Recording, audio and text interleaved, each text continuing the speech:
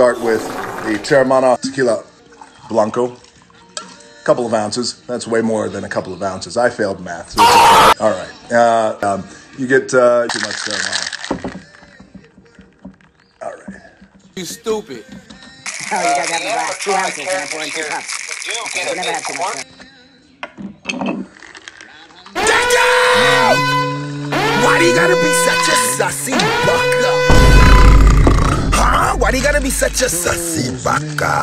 Uh, I raise this glass to you guys. Uh, uh, are uh, all around the world, certainly here in uh, the United States, um, and many of us um, are dealing with it on a close level too, as well. So, I uh, I toast to you guys. Cheers. Enjoy. Hold your glasses up of your Teremana. Ah, That's good.